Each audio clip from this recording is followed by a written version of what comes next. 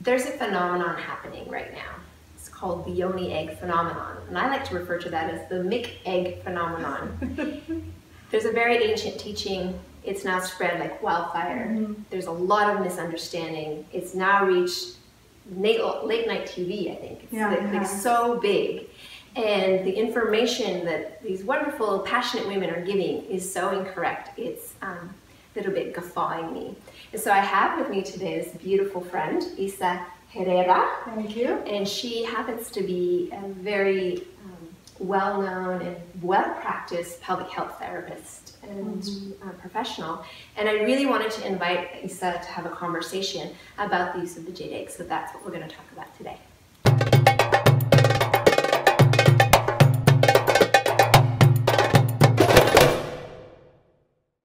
So hi Isa, it's just really beautiful to have you here and I'm Thank excited you. to talk about this McEgg phenomenon with you. And the first thing I want to ask you about is, do women really need more pelvic tension? Absolutely not. So what happens when women focus on having tight vaginas as their main exercise program? I think that the average person, I mean I've been doing this for a decade, I've written three books on the topic of pelvic health and one of the things that always amazes me is how many women exercise themselves into a pelvic dysfunction wow. and into a pelvic pain situation mm-hmm. because of the excessive tension and hypertonicity, right? And then that leads to a muscle that doesn't relax. So, and I think a lot of it has to do with the way we think sometimes that we may be not tight enough down there, or we may be loose, or we just had a baby. But this is not how what pelvic health is supposed to be like. Mm. It's supposed to be a balance. If you put tension in, there should be tension out. So what I find with the excessive tension is that women have sexual pain. Sometimes they have bladder dysfunction, so they have a lot of urgency, mm. or sometimes that can lead to stress incontinence, or sometimes it just leads to hip pain, right? So there's a lot of different kinds of symptoms that you can get from excessive tension in the vagina mm. and in these muscles. And would you say that um, you've witnessed also an effect on women's capacity for orgasm and pleasure around uh, oh, issue? absolutely. I mean, one of the things that we know about the pelvic floor muscles is that it's very, very um, heavily involved in orgasm. And in order to achieve an orgasm, there has to be this sort of suppleness, this mm. sort of flexibility in the pelvic floor muscles because you cannot reach this height if it's very tight. You sort of have the orgasm that goes like this, and you're like, you get there, and it goes, and that's a result of tight muscles. Sometimes yeah. weak, but the majority of the women I treat, tight muscles. And you're seeing that in all ages? I'm seeing it in all ages, but believe it or not, I'm seeing it in younger women. So I treat women between the ages of 20 to 40 very rarely do I see anybody over 40, 45. You know, usually if I do, it's usually because it's a post-surgical patient or uh, stress incontinence. But when I treat the hypertonicity, the tension, it's young women, women who exercise a lot, women who are constantly gripping, women who are taught that uh, doing a lot of Kegels is the best way to achieve um, the nirvana mm. of sexual pleasure. Mm. And we know that that's not the case at all. Exactly. You know, at least I know that, and this is what we're discussing about this Mick yoni egg. By the way, I love that term. I just you need to you need to like TM that because it is beautiful. Um, tell me a little bit also because there's a, also a phenomenon of women really interested in, in pelvic weightlifting, and oh wow. Um, I mean so I have my thoughts on that, but I really prefer in this conversation to have your thoughts as the pelvic health person who's seeing the end result of women who are aggressively um, attempting to lift a lot of weight with their vaginas. I think that they're exercising themselves into pain and into dysfunction and into an issue where um, they're going to have poor sexual function. Okay, I see it over and over again. And the thing is, of course, there is an appropriate time to use a weight. And I'm not talking about excessive weight. You don't need excessive weight to train these muscles. You just need the appropriate weight and you need appropriate balance. And that's what people are missing.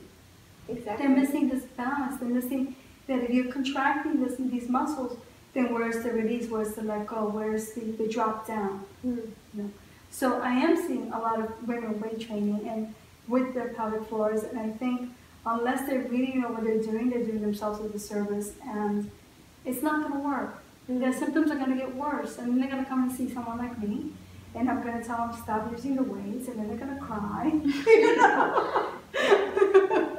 Yeah, and, and there can be some long-term damage because what I've seen on my end is that even nerve sensitivity, so sensation can go down or like up in terms of pain, but down in terms of pleasure. Mhm. Um, in, just inhibition, even in functionality, and then even some menstrual issues that come along with Oh, having. absolutely.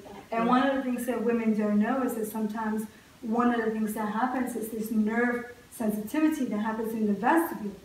So they're exercising their muscles, they're using these weights, they're using the yoni egg in, you know, not the right way, and they create this excessive tension. And so what happens is that it does have a very deep effect on the muscles, and when it has that effect on the muscles, it creates this inflammation in the vestibule. Mhm. And anything touching the vestibule is called vestibular vulvodynia, used to be called vestibulitis. Um, anything that touches it, even a light cotton swab, creates excruciating pain. And this is an issue of the muscles being too tight, being over-exercised, and not being released enough, or sometimes massaged. I'm so happy you mentioned that because I also am friends with um, surgeons, women who are OBGYNs who do Mhm. surgeries, and they do complex surgeries to remove the whole um, vestibule of, of the Yeah, woman's I've seen anatomy Yeah. in order for her not to have pain, in order for her to have sex. And yet you're saying clearly that if we were to exercise properly from the beginning, understand that there's more to life than just pelvic tension, Mhm. that we can have tone, suppleness, and dexterity. And flexibility, Mhm. and openness, and receptivity. Yeah. You know, that we don't have to be tight, right? Because of women, we have to have that sort of receptivity. We have to be open. We have to be able to open our legs and let someone in.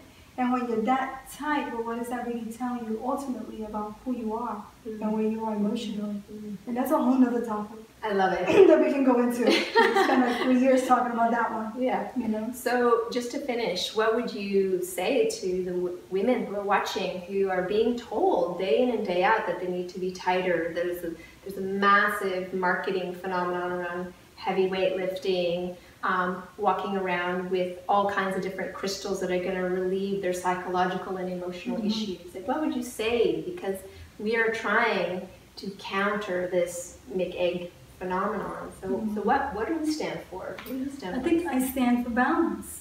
I stand for working with somebody who's very knowledgeable and working with somebody that you trust and is trained by the proper individual. You, you have to be careful. Everybody takes, you know, weekend course and they think that they can do it or they take a class and then they take the information and then they try to make it their own, but it's not the same as working with the master. So for me, it's if you um, gotta put tension in, right? You have to find that balance and sometimes there's so much tension that you're not even allowed to do a kegel. You're not even allowed to contract.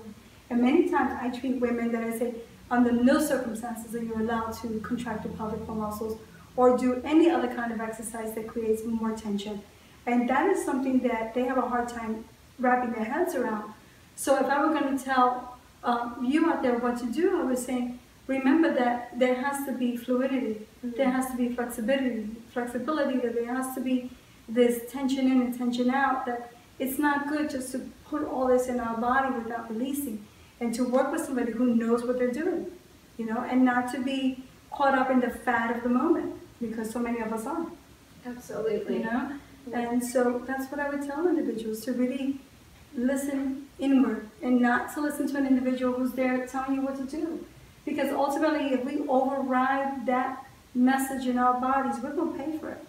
If we don't listen to our hearts, and we know that now the divine feminine is stronger than ever, if we, we override that, Mhm. then what are we teaching our daughters? You know, what are we teaching other women? So it starts with us, and then from us, it goes out, like sort of like a ripple effect. Okay, so every woman has the opportunity to be, um, I don't want to say a role model, but sort of like, yeah, like a role model for the next woman. Right? So if you go around saying I'm doing 10,000 kegels and, and you know that you're leaking, you know you have pain, you know you're not orgasming, you know that nothing can get in, you know you're not paying with friction, then don't advertise something that you know is false. Right, That's not working for you. right. Beautiful, thank you. You're Um, so where where can the viewer actually find you? What's Oh, the right place to absolutely. Um, you can find me at um, pelvicpainrelief.com. Awesome. Yeah, I love it. right. I endorse everything Isa does. Thank you. We're colleagues, we're friends, we're Mhm. sisters. Um, and if you want to know more about me, if this is your first time meeting me, welcome. Definitely go to dareyourdesire.com where you can get lots of articles, other videos, and some free information and training. So I'll see you there.